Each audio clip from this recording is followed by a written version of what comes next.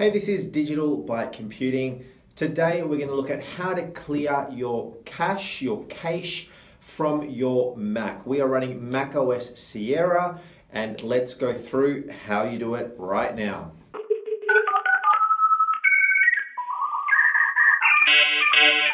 So here we are on the Mac and we're going to go and show you how to delete your cache. There are a couple of areas that you do it from. Um, there are a couple of library folders which are normally hidden, but we'll show you how to access them so you can go and delete these.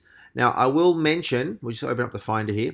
I will mention that uh, deleting your cache will delete uh, essentially customization um, information for your applications. Um, so your applications, uh, when they open up, they will uh, have settings saved in them which are stored in certain folders on your Mac to be able to customize it and have you know certain things saved by default. Perhaps the way that you have standardized a, a, a you know a program to open or, or a certain design of how a program may look, etc., etc. So deleting your cache can be dangerous if you don't know what you're doing. So only delete these if you're confident uh, at what you're doing and that you know exactly what you are deleting. Um, it is a, a, good thing to do from time to time because it will clear up a whole heap of old junk um, especially from perhaps applications that you have deleted previously. Uh, they will still be stored in these library folders. So from our Finder, you'll see that I've already got a library folder listed under my favorites, but more than likely you probably won't. So the easiest way to do this is on your Finder, on your, on your menu bar, your toolbar at the top, go into the Go and then Go to Folder.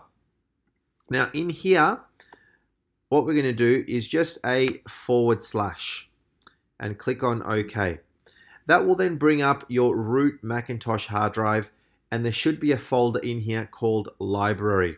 If there isn't, if it's hidden, again, you can go into go to folder and actually go forward slash and type in library and OK. And that will open up the library even if it is hidden.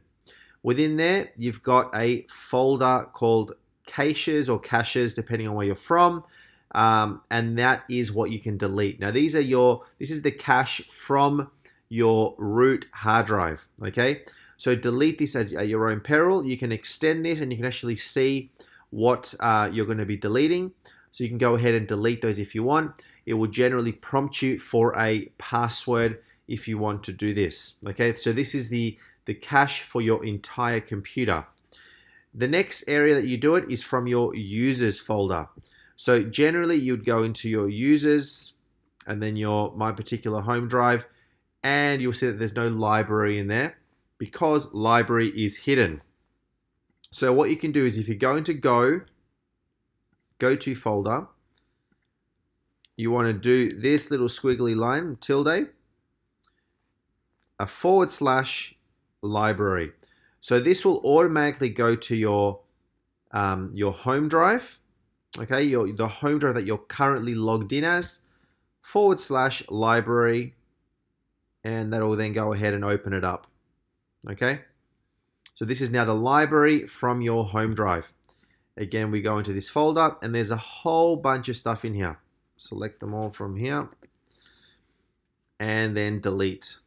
Okay, as I said, this is going to ask you for your credentials and then it'll go and delete it. So a good example of what may happen here is I've got a, a program called TeamViewer, um, which lets me remotely control computers. And I've got some saved settings in here, saved customization. By me deleting this, you're essentially resetting the app to factory default in a way, sort of, uh, so that the next time you open it up, it's going to be fresh. It's going to ask you to customize it again and put in your saved passwords and things of that nature. So only do this if you really know what you're doing uh, because it can cause applications to function funny if you don't know the effect of deleting uh, your cache, okay? Uh, often some of these will be in use because your programs are running in the background. Um, so you may be able to delete them, but you may not be able to delete them and empty it from your trash until you restart your Mac then you can delete it from your trash and they will be gone. Okay, so they are the two areas that I would go and delete uh, from your Mac if you want to delete your cache. But as I said, do this at your own risk. Thanks for watching. So if you found that video helpful, please like it and subscribe to my channel Digital Byte Computing just on the button there for more videos.